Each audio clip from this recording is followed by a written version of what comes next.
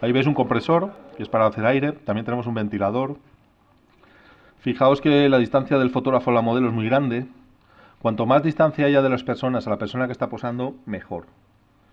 Mejor. No, se sienten menos intimidadas. En la distancia, pues, pues quieras que no, pasa como con, la fauna y como con tantas cosas. Se sienten menos amenazadas. Entonces, para empezar a trabajar, casi siempre empezamos con ella vestida con algún tipo de transparencia y hacemos esas fotos que son menos, menos invasivas y menos eh, más fáciles para romper el hielo y poco a poco vamos empezando a trabajar.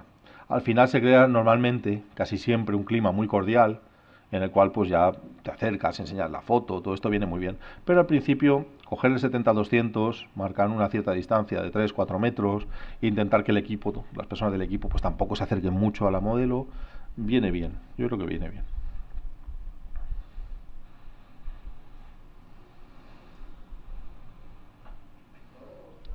Veis que hay un flash principal para ella y hay un flash de fondo. Los dos disparan a la vez. En este caso no hay, luz de recorte porque el fondo no es, no es oscuro, entonces no hace falta delimitar esa tela negra. La tela negra sobre un fondo clarito ya se ve suficientemente bien donde acaba. Luego tenéis que tener en cuenta que la tela va a filtrar la luz. Si la tela tiene una pequeña dominante, las telas negras, pues no siempre son solo negras, a veces tienen, son negras cálidas o negras azuladitas. Todo eso va a pasar a reflejarse en la piel. Notaréis que hay pues como, como un bronceadito más dorado, más frío, según el tipo de tela. Ya veis un poco cómo están dispuestos los fondos. Si os fijáis detrás de este que es el mar, hay otro que es el bosque. Hay un, un perfilito verde, indica que detrás de este fondo hay otro. Sea que esto se puede quitar enseguida y aparece un fondo de bosque con un árbol y la niebla y al lado hay unas nubes de amanecer rojas. Pero bueno, lo importante es que tengáis ventilador y compresor preparados si queréis que aquello parezca exteriores, un gran fondo en el que trabajar. La tarima viene muy bien porque así nos enseña suelo, ya os aísla un poco, os levanta eh, la modelo hacia arriba y, si no os acacháis a ras de suelo y no os tumbáis en el suelo a hacer la foto, pues ya no sale ese suelo porque ya está elevada. O sea que es muy cómodo trabajar con, con tarima. Este sería el resultado de la foto que se ha hecho ahí.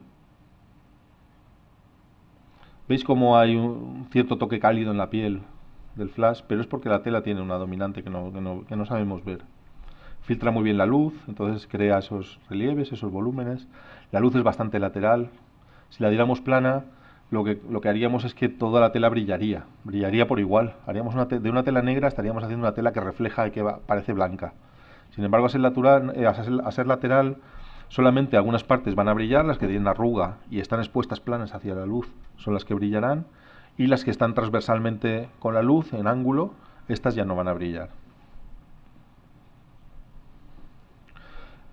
Con respecto a los modelos, pues hay unas webs como fotoplatino.com en los cuales se ofrecen a cambio muchas veces solamente de las fotos. Y ahí no solo hay modelos, hay fotógrafos, estudios, maquilladores, caracterizadores, estilistas. Son webs muy amplias, tienen un ranking, que ellos sabrán cómo va, porque yo he visto fotógrafos muy buenos con un ranking muy bajo, que debe ser pues porque el fotógrafo o no sube sus mejores fotos o tampoco le interesa aparecer ahí especialmente. Entonces, pues tampoco es algo que se cuide. Pero no os fíes de los rankings, porque yo he llamado a chicas con un ranking bajo de 6 y de 7, y luego he sido chicas muy trabajadoras que han posado muy bien, muy, muy, muy bien caracterizadas, muy, muy, muy guapas de presencia física y que, se, y que hemos trabajado divinamente. O sea que el ranking que no sirva para nada, porque debe ser las veces que te visitan o algo así. Pues aquí podéis encontrar un equipo. Es decir, aquí podéis buscar un estilista, podéis buscar una, no sé, una, una maquilladora, podéis buscar una peluquera y podéis encontrar un equipo con el que empezar a trabajar. Nadie va a recibir dinero a cambio de los servicios, pero bueno, pues casi todos eso, querrán tus fotos, las fotos que tú vas a hacer se van a repartir entre ellos y la esteticia las puede utilizar pues para representarse ella, para su tarjeta de visita, sus folletos o lo que ella quiera. Y lo mismo la modelo y la peluquera y todos los demás. Después de probar eh, dos modelos de fotoplatino que dieron muy buen resultado, ya os digo, chicas muy trabajadoras, cumplidoras, serias, siempre cuando vas con el coche hacia, no sé, pues una chica de Torrevieja o de Elche, por el camino vas pensando, y esta chica va a estar allí. Igual no, se arrepentido a última hora, le duele la barriga hoy, yo qué sé, no tiene el día. Y no, no Pues sí, todas aparecieron, todas hicieron trabajo, Todas trabajaron bastante, es decir, que las sesiones, cuando si alguna vez lo probáis, veréis que uno se cansa mucho, no solo el fotógrafo, sino la persona que posa. Esas poses forzadas, el estar ahí con frío o con calor o como sea, pero tienes que estar haciendo tu trabajo y poniendo el gesto que te piden, acabas bastante concentrado y bastante cansado. Y estas chicas trabajaron muy bien y el resultado ha sido estupendo. Después de probar estas dos eh, personas, que, que ya os digo muy contento con ellas, pues me acordé que las agencias de modelos existen y pensando, eh, me acordé que tengo una prima que tiene una agencia de modelos aquí en Alicante, que se llama Cara Modelos. Digo, oh, mi prima Cookie. Total, que le llamo. Y efectivamente la, agencia sigue abierta. Entonces, bueno, pues una agencia nos va a dar un poco más de calidad. Es decir, son personas, son chicas o chicos que ya están formados, que ya saben lo que es desfilar, eh, hacer pasarela, hacer de azafatas, hacer de posar para, para foto, algunas son actrices y hacen también cine y vídeo. Es decir, que ya tienen una formación, ya te aseguran por lo menos que la va a ver, y mayor seriedad. Ya vas a disponer de más fotos previamente de cómo es la persona y vas a poder pensar un poco mejor qué tipo de mensaje le va a esa persona. Así que también muy bien con esta experiencia. Aquí estamos pintando con body painting, la esteticien Nayara está pintando una de las modelos de agencia para hacer una especie de depredadora. Yo le dije una cebra, pero no, no cuando la veías no era una cebra, eso, eso era carnívoro. es curioso cómo se transforman las cosas. Pues ya veis que las sesiones son lentas, con un, con un compresor tienen que pintar con una base, en este caso blanca, todo esto hay que prepararlo muy bien, porque claro, no llegas allí y la pintura aparece, la pintura hay que comprarla antes. Entonces, pues aquí ya está caracterizada. Aquí ya estamos pensando a punto de, hacer, de empezar a hacer fotos sobre fondo blanco, preparando un poco luces. Una de las, bueno, ahora veremos las fotos. Ahora después de, de hablar un poquito más del texto veremos las fotos. Bueno, sea una agencia o sea, o sea una modelo encontrada por web, tenemos que exponer muy claramente cuáles son nuestras pretensiones. Ellas lo van a querer saber, qué tipo de fotos le vas a hacer, porque en este mundo pues hay de todo. Y ellas no quieren acabar pues en un Facebook de esto del amor o no sé. Entonces tiene que ver muy claro pues que es una cosa seria, que lo que quieres hacer es está más, más cerca del arte que, de, que del desnudo en sí, explícito para qué quieres las imágenes, qué vas a hacer con ellas, si vas a hacer formación, o vas a hacer exposiciones, o vas a participar en concursos, pues es una serie distinta de, otro tipo de uso que se puede hacer de la imagen. Entonces explicárselo y que vean publicaciones tuyas o que vean tres o cuatro fotos ya puestas en papel con su passepartout, ya le da una idea de, cómo se van a enseñar esas imágenes, de en qué tipo de ámbitos. Luego además eh, si explicamos que es para hacer obra de autor, nos suelen dar unos precios especiales y unas condiciones especiales, tanto las agencias como ellas. Hay un protocolo para, contratar modelos y, cómo debemos comportarnos con las personas que tienen las agencias, que debemos pedirlo, porque bueno, ahí se establece pues que tienen un seguro, que lo saca la agencia y que tú lo, está incluido y que lo pagas, pero bueno, estás tranquilo porque sabes que tienen un seguro, eh, pues se incluyen los desplazamientos, por ejemplo, el hecho de que tú no puedes tocar físicamente a esa persona, esa persona va a posar y el protocolo dice pues que tú no puedes acercarte allí a tocarle, a ponerle no sé qué o a quitarle no sé qué, porque no es eh, hay un protocolo que dice que eso no se hace. Y está bien conocerlo porque si no tienes experiencia, pues a lo mejor en tu afán de cooperación o de quedar bien o de agradar a esa persona, pues te puedes extralimitar y, a lo mejor estás consiguiendo lo contrario. En vez de que se relaje, dices, pues esta gente se mete aquí encima, esto que... No, que el pelo te lo arreglo, que me vas a arreglar todo el pelo, que venga la bien y me arregle el pelo la bien. Bueno, esas cosas. Así que hay que estar muy pendiente de eso, tener un trato exquisito. Eh, quizá la idea sería ponernos en su lugar.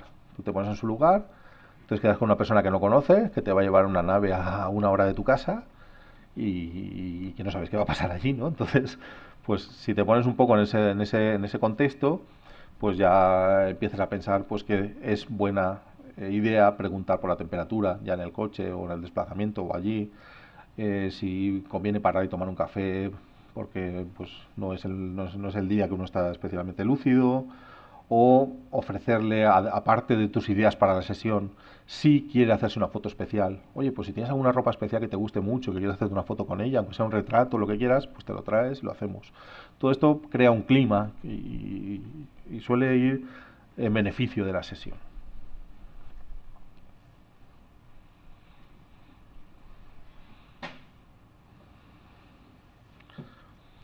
La temperatura es delicada porque si elevas la temperatura para una persona que está desnuda y nerviosa, el resto del equipo que está vestido y trabajando y moviéndose y agarreando cosas va a sudar como, como, como animales. Y al revés, pues la, otra persona se va a hablar de frío. O sea, que tenéis que tener alguna fuente de calor que irradie calor a una distancia razonable, que no salga en la foto, pero que, bueno, pues calde un poco la zona donde se va a trabajar, de forma que tú que estás lejos no vayas a notar ese calor y la persona que está posando sí.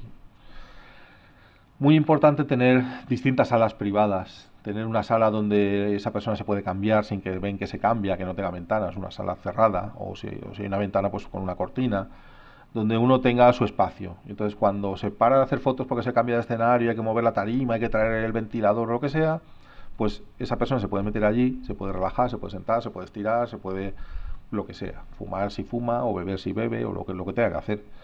Entonces esa sala debe ser ¿cómo diría yo? Pues como un búnker infranqueable. Es decir, allí no tienes tú que asomarte a nada. Eso es su espacio. Cuando sale en la puerta siempre debe abrirse desde dentro, nunca desde fuera. Eh, eso da intimidad y, está bien.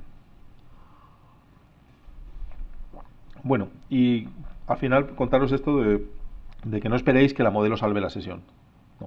Hay modelos que llegarán y se pondrán así. ¿Y qué vamos a hacer hoy? ¿Y cómo me tengo que poner? Pues no sé, no sé. Eh, pues mira, doblas la pierna así, te pones tú y hacer la pose y ya te ríes tú solo, ¿no?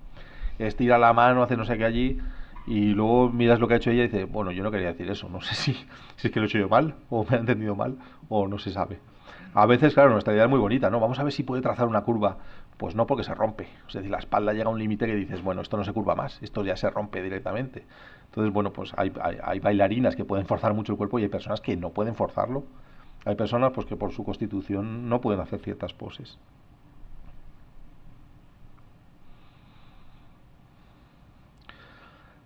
Tengo que decir que lo hemos pasado muy bien, es decir, el ambiente de las fotos ha sido de reírnos, porque las chicas pues se han sentido a gusto y hemos entablado amistad y ya pues empiezas a bromear y pues eso, pues hemos trabajado muy a gusto todo el equipo. Eh, después también está la modelo que ya sabe mucho, ¿no? Que llega, no, no, no, el flash este, el flash, el flash tú ni lo mires, que vas a mirar tú el flash. Flash es mío. flash no se toca. No, no, pues ahora me pongo esto. ¿Que te pones? No, no, no, que te pones, no, que te va a poner aquella, pero lo otro, el casco, te va a poner el casco. es decir, de ti depende que la cosa no se vaya de las manos. Aquello puede ser un cachondeo absoluto, pero absoluto pero cuando acabe la sesión y vea la foto dirá, Dios mío, ¿y esto cómo ha pasado? ¿Esto, esto qué ha sido? Pues eh, bueno, todo esto hay que atajarlo, las, las, cosas no se lo van a bien, también pueden ir a mal. Y, bueno, pues eso. Sobre todo, vigilad los modelos que se mueven más de la cuenta. Los modelos que están acostumbrados a hacer cine, pues se van a mover. ¿Qué? ¿Te va bien así? Hombre, pues para mí va rápido esto. yo, yo, quisiera que, poder pulir una pose, ¿no? Mira, por ahí, por ahí va la cosa, párate ahí y ahora te ponemos la mano y ya se está moviendo. No, no, no, pero no, era como antes, pero con la mano quieta. Entonces, pues cuesta, cuesta. Luego también hay, a lo mejor, pues vienen con un acompañante. De las agencias no suelen recomendarles y una chica de agencia nunca viene con un acompañante. Pero, pero una chica de una web, pues a lo mejor viene con alguien que le trae o con alguien que quiere que esté. Y es normal y yo lo veo normal y no tengo ningún problema pero hay, hay, quien, hay quien le gusta la fotografía y acompaña, y esto es un problema, ¿no? El, y aquel no está muy alto, sí, sí, aquel es altísimo, pero, pero ¿esto qué es? Es decir, que los acompañantes también se pueden extralimitar, ¿no? En aquello, y acercarse con el móvil y tal, y te descargan los flashes disparando, pero esto qué, pasa aquí, ¿no? Así que conviene que si viene un acompañante, pues situarlo lejos, que esté cómodo, pero que esté lejos, o esté en una dependencia cerca, pero que no se vea en los escenarios, porque podemos encontrar un exceso de, de entusiasmo, ¿no?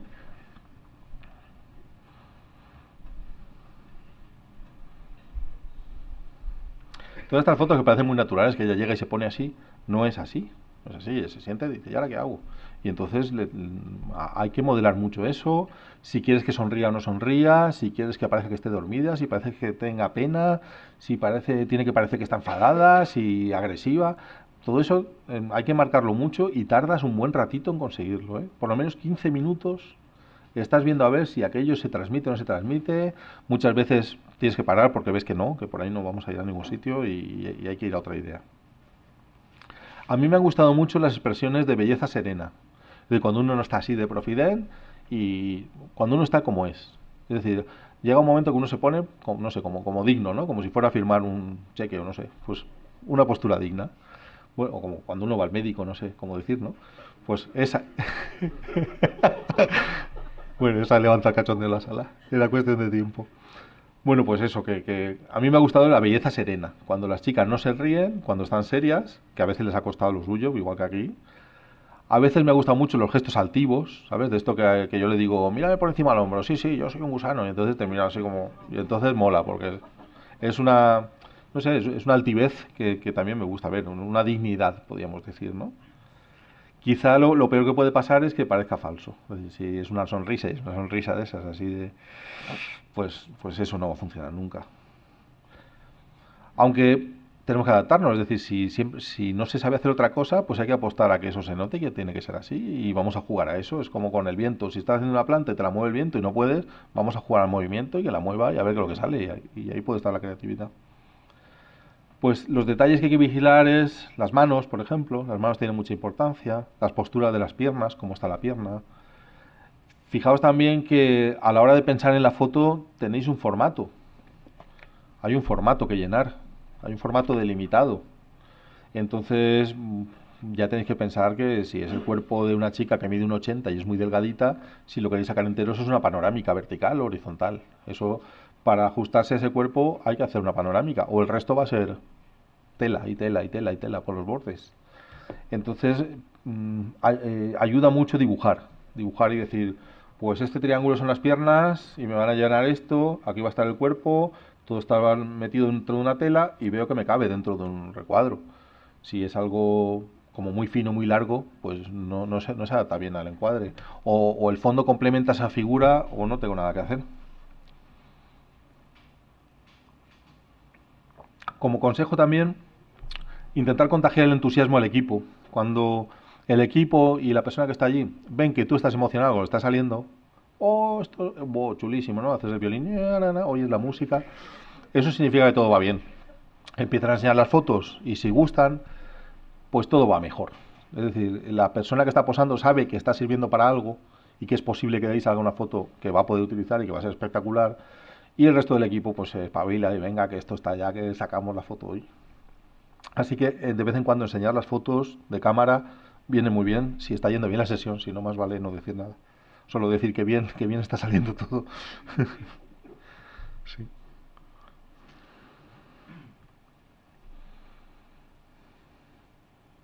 Aquí tuvimos mucha suerte, pues por el pelo y la piel, porque combinaba muy bien.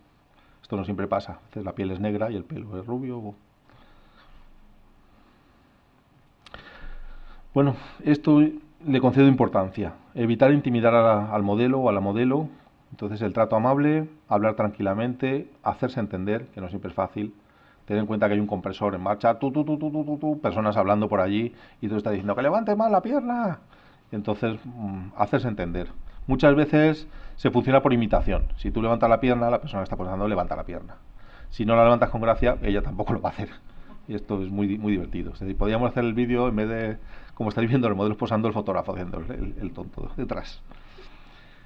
Eh, mi consejo es que solo la esteticien se aproxime a la modelo o, al modelo, porque entre ellos suele haber un vínculo especial. Es una persona que te ha maquillado, que te ha tocado la cara, que te ha arreglado el pelo, que te ha tocado no sé qué, que te ha pintado.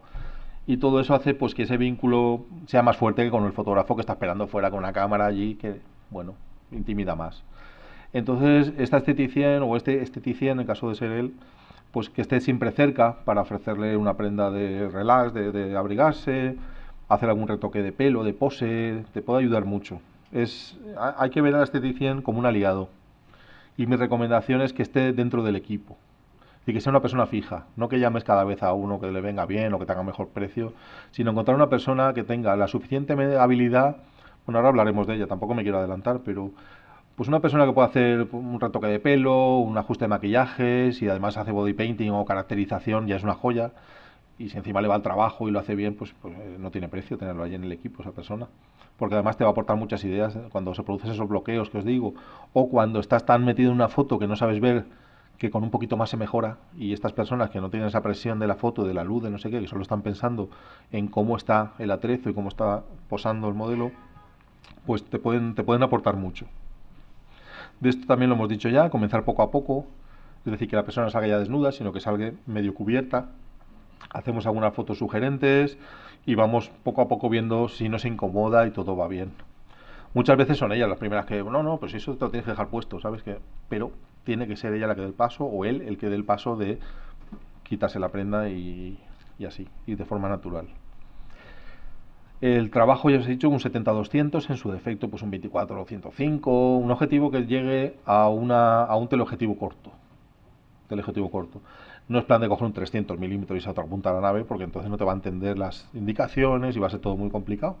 Pero un teleobjetivo de rango moderado, desde un 50 en adelante, pues ya marca una distancia buena de trabajo. Respetar muy bien el lugar de cambio de ropa, caracterización, hasta que no acaban de caracterizar a tú no entras allá a mirar nada. Tú puedes preguntar cómo va todo, si tarda mucho, pero eso de entrar o eso no, se debe hacer.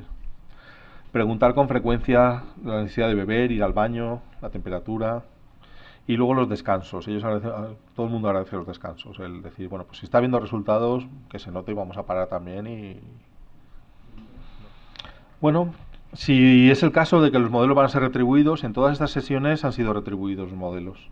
Yo prefiero pagar lo que sea, lo que me pidan, y que conste además también el contrato, porque cuando uno pose y le pagan, pues bueno, pues uno está cediendo sus derechos a cambio de una retribución económica.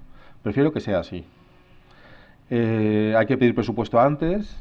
En el caso de la agencia va a ser un poco más caro, pero si está mejor preparado el modelo, tiene su seguro y va a haber seriedad y tenemos ahí para elegir, bueno, pues puede estar muy bien. Es decir, que eso hay que valorarlo.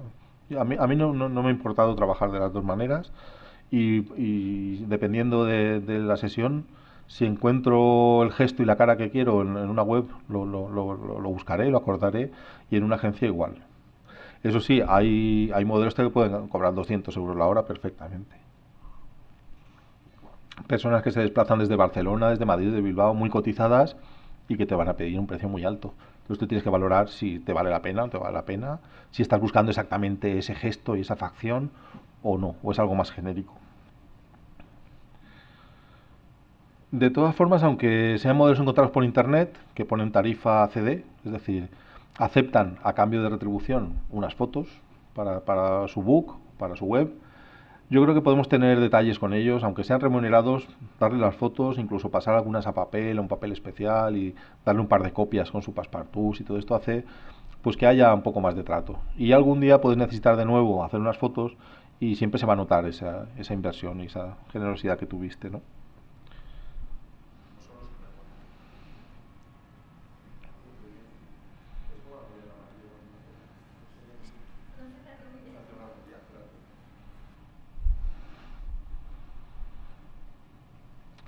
Vamos a hablar ya un poquito más de la esteticista. En este caso es una persona involucrada, con lo cual tenemos la comodidad de que está allí, de que se puede improvisar en todo momento. En la última sesión nos sobró tiempo, es decir, eh, cumplimos muy bien los objetivos, la sesión se desarrolló muy bien y nos encontramos con una horita extra. ¿Te da tiempo de hacer body painting? Sí, en media hora la tengo lista. Pues tenemos media hora para hacer fotos pues venga, vamos a hacer body painting. Pues toda esta comodidad no, no, existiría si tienes que meter a modelo en el coche, irte a una peluquería, a una esteticien y que la arreglen y volver con la, con, la persona. Eso sí, hay que respetar muy bien esos plazos de preparación del modelo. No podemos sacar a, tirones al modelo de allí a medio preparar porque tienes prisa o porque no has calculado bien el tiempo. Si no hay tiempo, no hay tiempo y no pasa nada. También hay que considerar que con, el body painting, con la pintura corporal, las modelos casi no están acostumbradas. No, lo han hecho nunca, lo han hecho muy poco y casi siempre prefieren irse maquillados. Entonces puedes agotar más la sesión. El, último momento ese de, venga, pues ya te puedes duchar o quitar un maquillaje, todo eso, no existe porque se quiere ir a casa con el, todo el body painting hecho.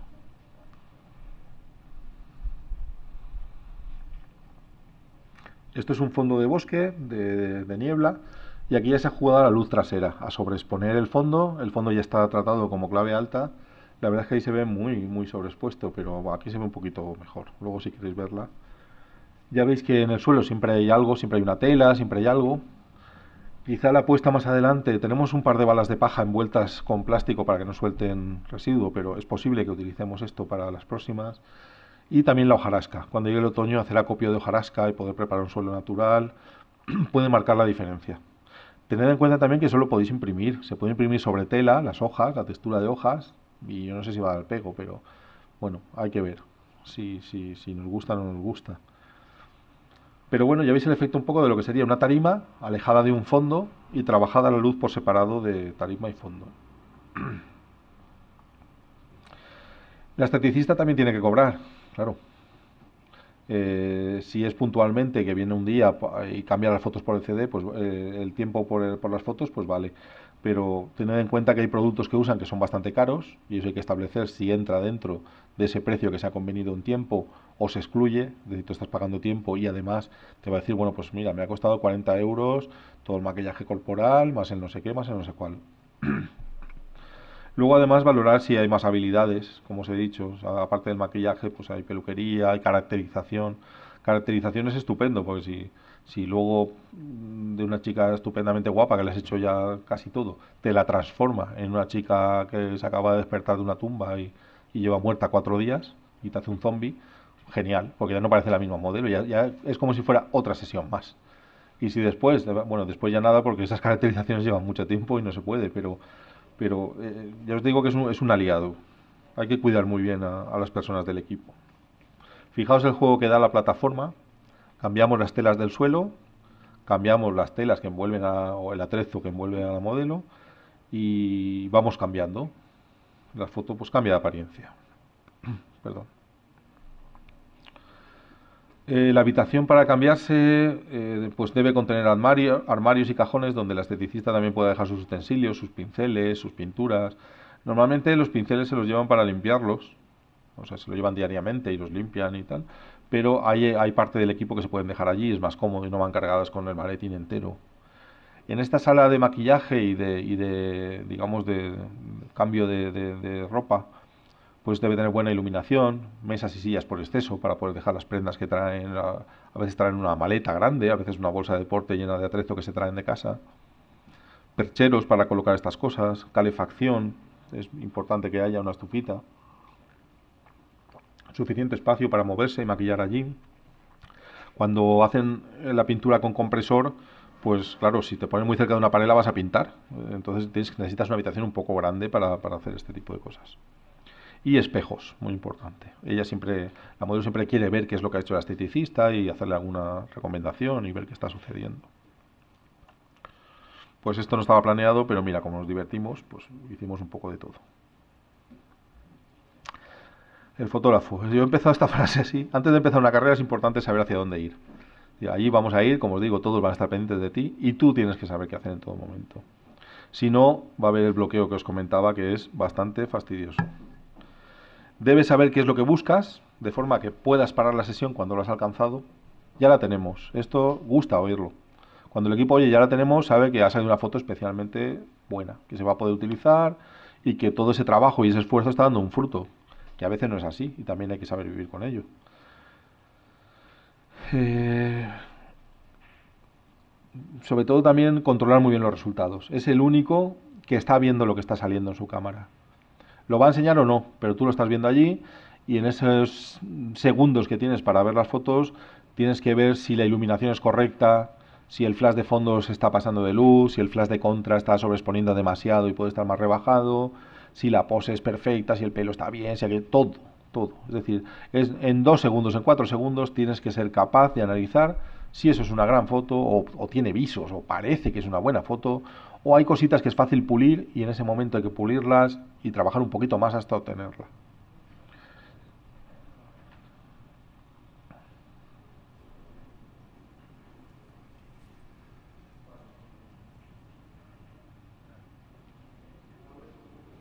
Ahí veis trabajando con un reflector, aclarando un poquito las sombras del flash que está muy muy lateral y está creando una sombra muy densa adelante. Entonces vamos a aclararla pues con una diferencia de un diafragma aproximadamente, que es lo que nos está dando el reflector a esa distancia. El flash de, fondo está un poquito pasadito. Está comprobando Rubén si dispara o no dispara, qué está sucediendo ahí. Veis que estamos mezclando los flashes, nos da igual todo esto. Una vez que sabes iluminar, te da igual. Hay un flash pequeñito, no sé si lo veis ahí, un SB26 con una capucha spot que está haciendo la contra perfilando. Es que no nos da igual con qué pintar, es decir, tú estás iluminando aquello de repente pues pides dos flashes pequeñitos porque quieres hacer no sé qué, no sé cuál. La luz, una vez que la conoces, te da igual con qué aportarla, te da igual que sean velas, te da igual que sea un coche, te da igual que sea una linterna, te da igual que sea un mechero es una fuente de luz y tú conoces las cualidades de esa fuente de luz y conoces lo que quieres, con lo cual eh, es muy fácil iluminar a fin de cuentas. Ya veis que ahora sí que se ve el ventilador, ahora vemos el ventilador ahí en el suelo, es una, un tipo de aire como más repartido, el compresor te da pues un disparo de aire que lo que hace es que una tela pues la, lanza con mucha fuerza y, le da una, una inclinación muy grande, mientras que el ventilador es algo como más suave, ves que el pelo se mueve, se agita un poquito hacia atrás, pero tiene menos, menos intensidad.